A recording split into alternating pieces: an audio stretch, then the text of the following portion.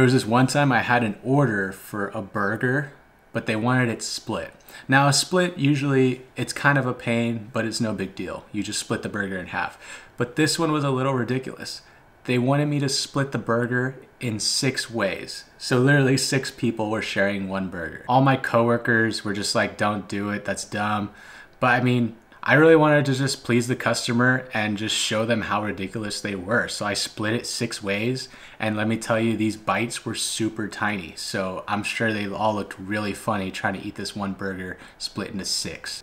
If you go to a restaurant, don't be that person. I'm gonna be doing a lot more giveaways soon. I'm giving away a knife and my flaky salt, so don't forget to hit that bell button and subscribe. It really helps me out.